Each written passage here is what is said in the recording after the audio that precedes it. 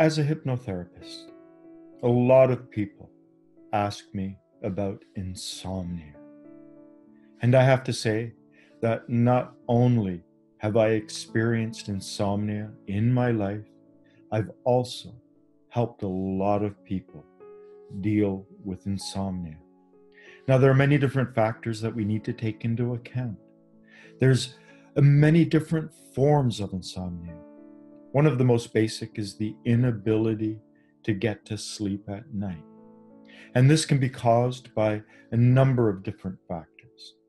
The most prevalent factor for people who just lie in bed awake, thinking, thinking, thinking, is the fact that they probably haven't got a lot of exercise and their body is not tired. Perhaps their mind is tired. Their mind might even be overtired, but because they haven't exercised their body, their body's awake. And quite often, people kind of fight with themselves. There's a part of them that knows exercise is important and that knows they should go for that long walk or go to the gym or do some kind of cardiovascular exercise in order to tire the body out. But there's another part of them that gets home from work and just wants to flake out on the couch.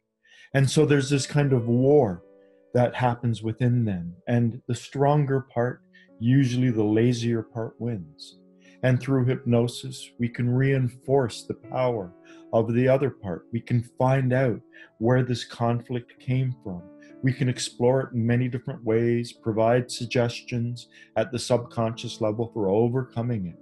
So, hypnosis can really help these people by embarking on a new lifestyle, giving them the power and the means at the subconscious level to begin to behave in a proper way and get more exercise. Then there are the situational insomniacs. And this is usually a direct result of stress in a person's life. Perhaps there is uncertainty at work. People are being laid off. People are being fired. Perhaps a new boss has come in or a new company has taken over the organization. Or perhaps there's a wedding or a move or house moving or whatever. And these situations are extremely stressful divorces, um, relationships ending, you know, problems with children. And stress is not just something that's ephemeral. There's actually a biochemical component to stress. So when we're under stress, there will be an elevated level of things such as adrenaline, cortisol, norepinephrine, and other hormones and biochemicals in the body that will be just flooding through our system. And it's very hard to fall asleep when we're in the stressed state. And here, hypnosis can speak directly to the physical body. There have been lots of studies where through hypnosis, we've talked to the subconscious mind and asked the subconscious mind to lower the volume of certain chemicals in the body, just to calm things down, to bring things back into balance. Now, there are also other complex issues that underlie the nature of insomnia. Insomnia can also be triggered by PTSD or some kind of traumatic event that uh, one has gone through in one's life, perhaps a robbery or an act of violence or a car accident. And we haven't properly digested this experience. And so it doesn't, uh, uh, so our subconscious hasn't been able to let go and work through it so that uh, it affects our sleep, it affects our dreams. And here again, hypnosis is very effective because of the subconscious dimension to PTSD and the fact that in the hypnagogic state, uh, we can better work through things at the imaginal level, work through trauma, work towards healing in a profound way. So we can work with the PTSD um, derived insomnia and then there's the cases of those who've never slept well. Ever since they were children, they've always had issues with sleeping. And so when people come to see me and they start to talk about insomnia, so I'd like to divide them into two streams. Is this insomnia the result of a lack of physical exercise? Is there some kind of dietary component, perhaps high in sugar? Uh, is alcohol a component? um, what's going on. Is this insomnia situational? Is it related to stress that's occurring now? Stress in the life, perhaps a divorce or something going on at work or in one's personal life? Or is this insomnia deep seated? Does it go back to childhood?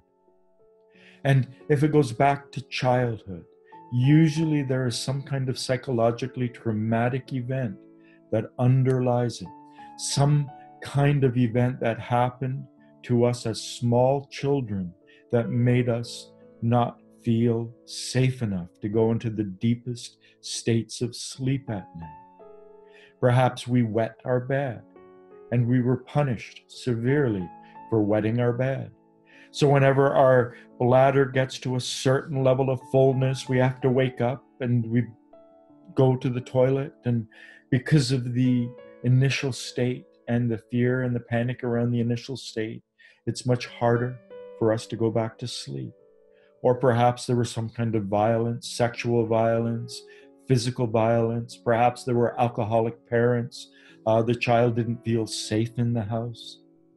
For instance, I had one client his father occasionally drank, and occasionally, when he drank, he beat his mother.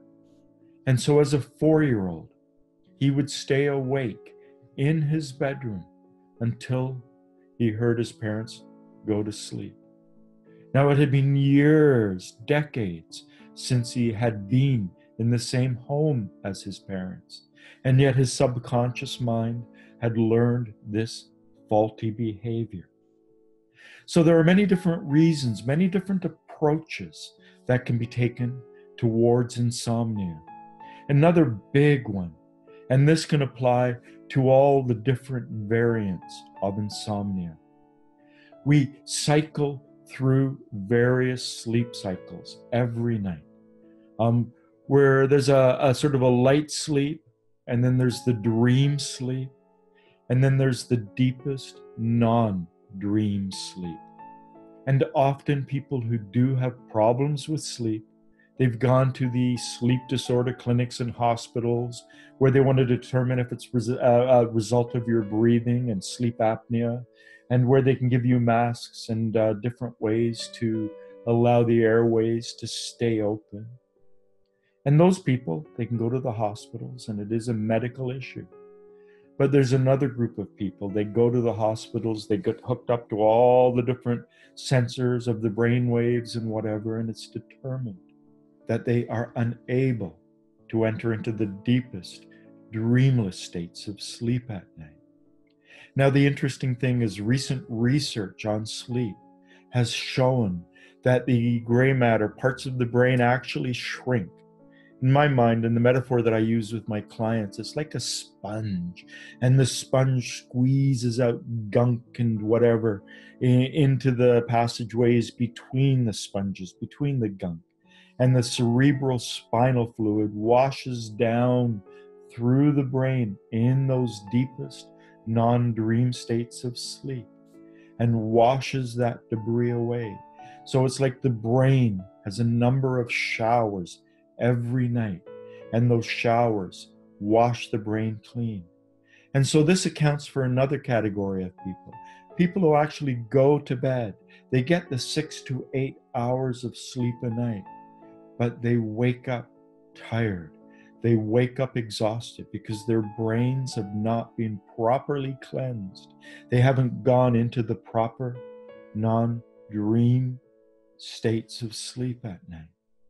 And again, here we can talk to the subconscious mind. We can provide the subconscious mind with images, with metaphors. We can show it pictorially what it's supposed to do.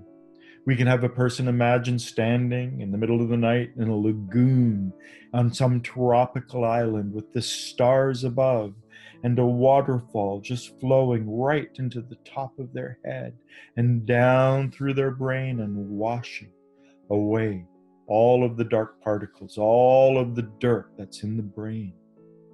We can also imagine them going down through the different cycles of sleep and then back up through those cycles. So there are many different approaches depending on the nature of insomnia, but because hypnosis is the only therapy. And there are many, many therapies out there, but it is the only therapy that involves a direct communication with the subconscious mind. And when we're asleep, by definition, we are in a subconscious state. Our conscious mind is the words and pictures and the different thoughts that we have, and everything else is our subconscious mind. Our dreams come from our subconscious mind. Our feelings, emotions come from our subconscious mind.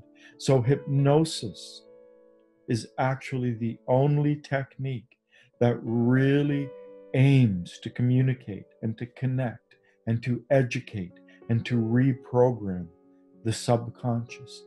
And because so much of insomnia and so many different variables in insomnia are a direct result of the subconscious mind, hypnosis is something that people should really consider, especially if they've tried sleeping pills, they've gone to the sleep disorder clinics, they've tried uh, changing their mattresses and doing everything. They should really seriously think about giving us a chance to help them. Healing mind, body, and feelings. The Toronto Hypnotherapist.